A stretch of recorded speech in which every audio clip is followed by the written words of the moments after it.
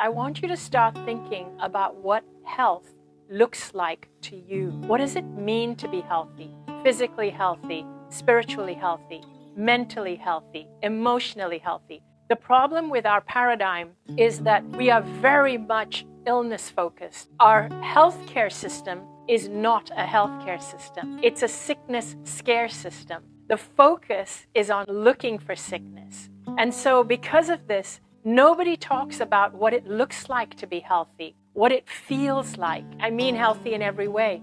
We very rarely have role models or people actually speaking out and teaching you how to be healthy. When you go for health care, all they do is look for sickness and they say, okay, you don't have this, you don't have this, okay, off you go, you're healthy. But you could be depressed, sad, you could be at the brink of the onset of something, but nobody cares, nobody teaches you how to be healthy. It is so undervalued in our culture. I would love for us to see people inspiring others, teaching others how to be healthy from the time when we're really young, like at school. What does it mean to be emotionally, mentally, physically healthy? What does your life look like when it's healthy? What are the tools?